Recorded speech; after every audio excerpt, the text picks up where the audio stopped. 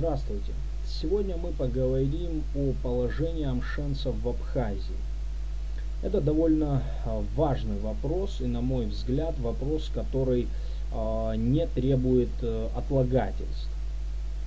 Для того, чтобы э, нас понял каждый человек, решивший просмотреть это видео, а, в том числе и потому, что говоря о положении амшенцах в Абхазии, я буду затрагивать и вопрос положения русских в Абхазии. А, я счел а, необходимым обрисовать общую обстановку, которая а, сейчас сложилась в этой республике.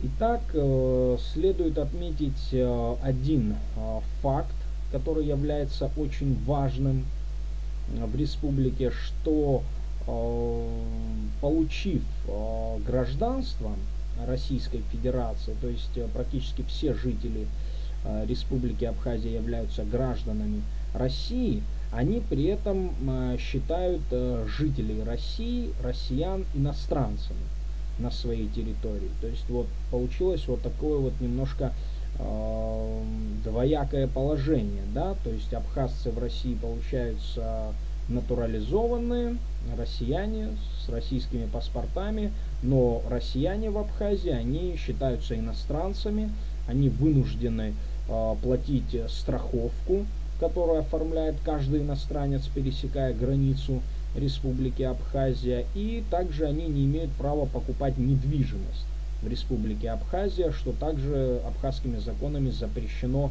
э, делать иностранцам. Вот. А, итак, э, вот это первый очень важный момент, который необходимо а, понять любому, кто интересуется этим вопросом. И второй важный момент, э, что в этой республике создано а, государство исключительно по этническому принципу, то есть не по национальному, как это делается во многих странах, где большинство, оно постепенно объединяет, натурализует, аккумулирует вокруг себя э, все остальные э, племена, этносы, народы и приезжих, и автохтонных жителей, да, то этнический принцип создания государства, он базируется на том, что маленький этнос захватывает все властные полномочия в стране, и при этом препятствует э, лицам, э, принадлежащим к другому э, этносу, к другим этническим группам, натура, натурализоваться.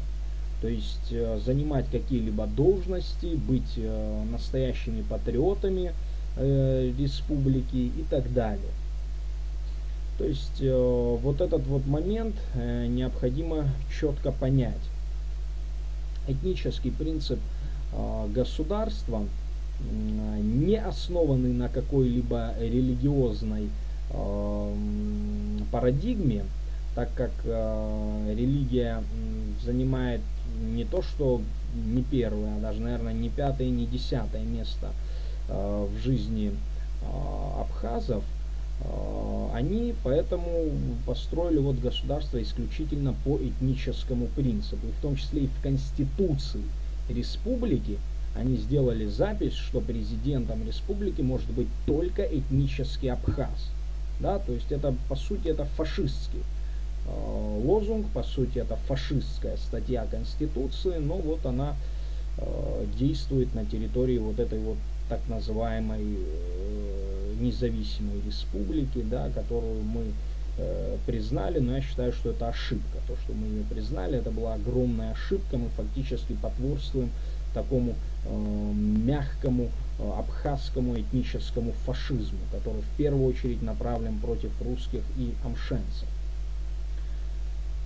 Теперь э, я э, перейду ко второй э, части, уже непосредственно буду описывать э, те проблемы, с которыми сталкиваются амшенцы и русские, проживая на территории Абхазии. А, что можно сказать о э, самих амшенцах? Да? То есть э, люди, которые, а, опять же, не имеют э, прямого доступа в республику и никогда в ней не проживали и мало разбираются в этнических особенностях, я объясню, что амшенцы это этническая группа, которая исторически проживала на территории Амшена, то есть это турецкая область. А, вот, э, по происхождению эта этническая группа а, принадлежит к армянской нации, а, но при этом очень сильно от нее отличается. То есть язык и культура у них свои, немножко перемешанные с турецкой, немножко перемешанные с грузинской и русской. В общем, вот такая вот э, этническая группа, амшенцы, вот, которая уже, ну, наверное, 6 или 7 поколений, то есть с конца 19 начала 20 века проживает вот на территории нынешней Абхазии. Да? То есть уже человек э, в шестом, седьмом поколении проживает на этой территории, и до сих пор он считается э, как бы человеком второго сорта, по сути будем говорить. Вот. Но вот при вот таком вот мягком этническом фашизме, который э, создали лидеры э, абхазской революции, вот, он, в общем, так сказать, процветает. Вот этот вот мягкий этнический фашизм, в том числе и распространяется Э, на тех жителей, которые уже в шестом-седьмом поколениях э, там проживают. То же самое касается русских э, жителей Абхазии, большинство из которых переехали в республику именно в конце 19-го, в начале 20 веков, когда уже русский царь твердыми ногами стоял на этой земле, когда он вытеснил отсюда турок и Э, скажем так, установил прямое э, петербургское правление на этой территории. Был образован Сухумский округ в составе э, Кутаисской губернии. И значит, царь приветствовал расселение на этих территориях русских, армян, амшенцев, греков, грузин и остальные народы, которые как христианские народы были лояльны э, Российской империи, российскому царю. Итак, э, вот положение амшенцев и русских в республике Абхазия, оно э, до сих пор, до сих пор, даже уже после 20 лет так называемой независимости этой республики, оно на самом деле вызывает э, большие споры и большие сомнения по поводу того, что эта республика действительно является свободной для всех э, граждан, для всех жителей этого региона. А на самом деле э, политика мягкого этнического фашизма проявляется в том, что практически все властные полномочия расположены в руках у абхазцев. Практически все должности, практически весь э, доходный бизнес, который приносит хоть какие-то деньги, на в основном связанный с туризмом, в основном связанный с гостиничным и ресторанным бизнесом, с недвижимостью. Вот, он сосредоточен полностью в руках у абхазов и э, представителям других этнических групп Э, туда эм, вмешиваться не дают. Ярким примером является э, обстоятельства по поводу избиения русского бизнесмена Варова в республике Абхазия, э, который, скажем так, решил играть по правилам закона, по правилам государства, но вот оказалось, что Э, при этом бандитском этническом фашизме по правилам закона и по правилам государства играть не получается. То есть либо ты так сказать, даешь мзду требователям, либо вот с тобой могут произойти вот такие казусы, что бутылка от шампанского разобьется о твою голову, совершенно случайно, конечно. А, что необходимо делать и амшенцам, и русским? Я уверен, уверен а, практически на 100%, что единственным выходом, единственной возможностью для амшенцев и русских является покинуть эту республику, а, потому что если в течение 20 лет а, власти не смогли а, привести в порядок законодательство, привести в порядок те бандитские структуры, которые до сих пор действуют на территории республики. То есть, э, если власти даже не привлекли к ответственности тех мразей, которые избили э, крупнейшего русского инвестора в республике, да, то есть э, прокуратура даже и не подумала э, на них завести дело. Э, то есть если вы являетесь гражданами второго сорта, э, если у вас нет никаких прав, если у вас нет никаких возможностей добиться чего-либо в этой стране, то тогда спрашивается, есть ли смысл оставаться в этой стране.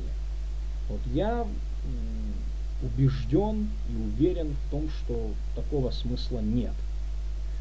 И тем людям, которые всегда сомневаются, которые, знаете, таким обладают э, какой-то привязанностью к местничеству, да, вот я вот здесь родился, вот здесь и буду жить, я хочу сказать, что как бы долго не длилась история, как бы долго не длилась борьба амшенцев и русских за равные права с абхазами, я не говорю о том, что должно быть преимущество, но просто за равными правами с абхазами, я э, убежден на 100%, что этого никогда не будет что вы все равно будете оставаться гражданами второго сорта.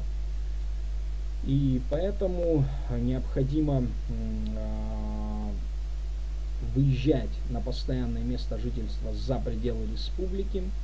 А, недвижимость а, можно реализовывать так называемым абхазским махаджирам, которые возвращаются с разных регионов это этнические абхазы, которые проживают в Турции, в Сирии, в Ираке, в других регионах. Вот. Необходимо им реализовывать недвижимость, необходимо реализовывать недвижимость местным абхазам и покидать эту республику. Тогда э, мы сможем давить на российское правительство, чтобы э, оно, скажем так, обращало внимание на вот эти вот моменты, связанные с Э, режимом этнического фашизма, установленным в этой республике, и оказывала э, наибольшее давление на правительство, в том числе и на полное закрытие границы, установки санитарного кордона с тем, чтобы абхазы наконец поняли, э, что э, для такой э, маленькой республики, полностью зависящей от России, установление вот такого э, режима этнического фашизма, при котором они э, ущемляют,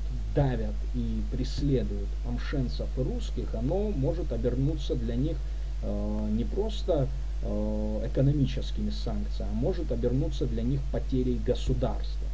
И это надо четко понять и ясно дать им это понять. На сегодня, наверное, пока все. Э, спасибо за внимание. Будьте здоровы.